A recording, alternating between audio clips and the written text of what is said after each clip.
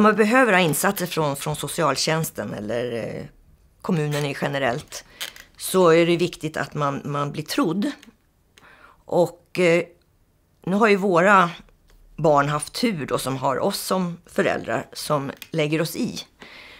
För det är jättebra om socialtjänstsekreterare har, eller handläggare har en generell kunskap om det här. Men man måste också vara nyfiken på att kanske ta reda på mer om just den individen jag ska stötta.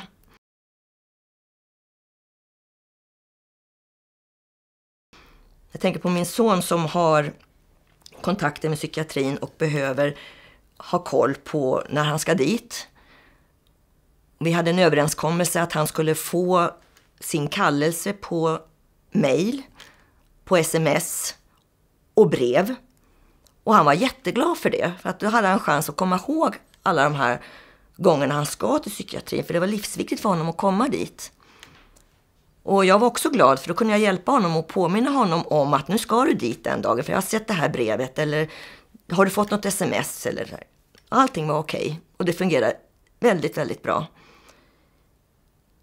Men sen var, tog det så lång tid emellan mötena tyckte jag. För att han brukar berätta för mig då när han har varit på psykiatrin och berätta hur det har gått och vilka nya grejer som har kommit till. Eller, han brukar informera mig om det. Så frågar jag honom, ska inte du vara på psykiatrin snart? Träffa din läkare?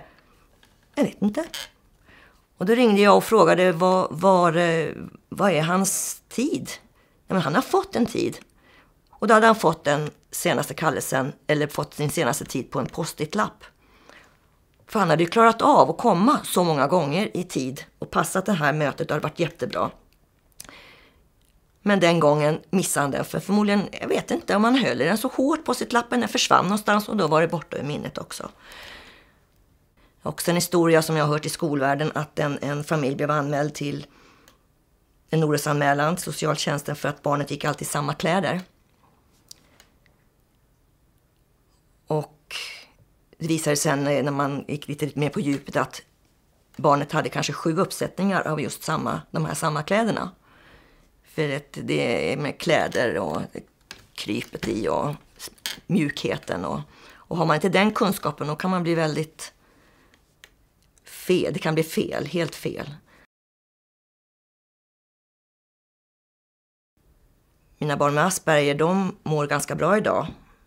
Men eh, mellankillen som jag har, han mår inte lika bra. Och han har inte samma stöd på grund av att han inte har Asperger. Har man Asperger så har man, eller autismspektrum så har man ju större stöd i samhället än vad man har med bara ADHD.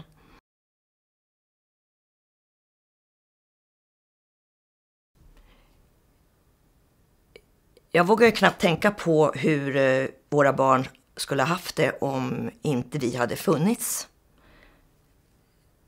de hade inte funnits. Inte någon av dem, tror jag. Svårt att säga många timmar i veckan, men man har ju det här hela tiden i huvudet. Det är ju ett dygnet runt, en dygnet runt oro. Om det inte fungerar så är det ju mer tid än man egentligen har för att få det här att gå runt.